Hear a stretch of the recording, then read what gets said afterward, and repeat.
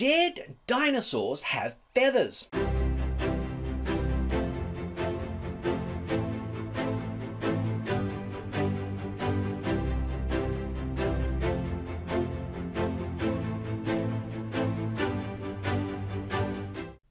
In part one, we looked at two different evolutionary theories as to the origin of flight, and that a growing number of creationist researchers are using one of these theories to support the notion that dinosaurs didn't have feathers.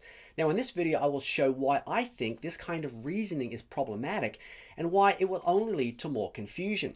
If you haven't seen the first video, then I encourage you to go back now and watch that video so that you know what's going on. Now you'll remember that according to the tree down theory of flight, Microraptor and other similar feathered animals are called birds because their ancestors were supposedly true flying feathered reptiles. In the other evolutionary theory of flight, that's the ground up view, Microraptor and other similar feathered animals are called dinosaurs because their ancestors were supposedly theropod dinosaurs like Sinosauropteryx. But, and this is important, both groups ultimately believe that birds evolved from ground dwelling Archosaurian reptiles. The tree down theory of flight merely bypasses the dinosaurian stage. And this is why some creationists will say that dinosaurs didn't actually have feathers. Their justification for this opinion, however, is often derived from the tree down evolutionary theory of flight. And this is different than when creationists say that dinosaurs did in fact have feathers. And that's because they've always been dinosaurs. They just happen to have feathers. Second, when tree down theorists call Microraptor and other similar feathered animals birds, they are seeking to draw their readers back to an Archosaurian reptile capable of powered flight. They are not thinking forward in terms of modern birds. Yet when some creationists call Microraptor and other similar feathered animals birds, they inadvertently cloak the word in modern garb without unpacking all of the hidden baggage. And this obviously leads to confusion. When a lay Christian reads an article that says Microraptor and other similar creatures were birds, they automatically associate these animals with modern birds and not with some evolutionary ancestor that got that name because it retained flight feathers from a flying feathered reptile. Our modern concept of bird, therefore, cannot be read back into the same word used by evolutionary scientists to describe Microraptor and other similar creatures. And finally, as it turns out, Microraptor and many other similar feathered animals have a lot more in common with Sinosauropteryx than they do with modern birds anyway. Here is the skeleton of Microraptor, for example. Presently, a very small subset of Darwinian evolutionists and a growing number of creationists are calling this creature a bird. Here is the skeleton of Sinosauropteryx.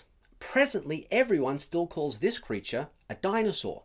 And here is the skeleton of a modern bird, a chicken to be precise. Now let's compare these skeletons. Notice, first of all, the skulls. Clearly, although there are slight differences, the skull of the Sinosauropteryx is anatomically much closer to that of the Microraptor than to the bird. Now let's look at the hands. It is true the chicken and Microraptor do possess a semilunate carpal bone, something essential for flight, but the overall architecture of the Microraptor hand is much closer to that of the Sinosauropteryx than it is to the chicken. Notice that both the Microraptor and the Sinosauropteryx have the same three fingers, with the second finger being the longest. Now let's go to the pelvic area. The pubis bone for Microraptor and the chicken are similar in that they are both directed to the rear of the animals. Yet the entire pelvic region of the Microraptor and Sinosauropteryx as a whole are more similar to each other than either of them are to the chicken, which has a very different overall shape. To the chest region, and we see that Microraptor and Sinosauropteryx both have gastralia, dermal bones that grew between the sternum and the pelvis. Modern birds do not have these bones. Of course, the long bony tail in both Microraptor and Sinosauropteryx are clearly at odds with the short pygostyle in modern birds. Anatomically speaking, it is quite clear that Microraptor and Sinosauropteryx are much more like each other than either of them are to modern birds. Okay, so what does all of this mean? Well, look out for part three to find out. So that's all from me here, Ken Coulson at Creation Unfolding. Of course, I've got a website, www.creationunfolding.com for more resources. I've got a book if you're interested. Um, of course, if you really liked this video, then please hit that like button, subscribe, and ring the bell for further access to more videos as they come up. Besides, it really helps that Google algorithm along. Of course, the greatest support that you could give me is prayer. So if you could pray for me right now, that would be much appreciated. Thank you and goodbye.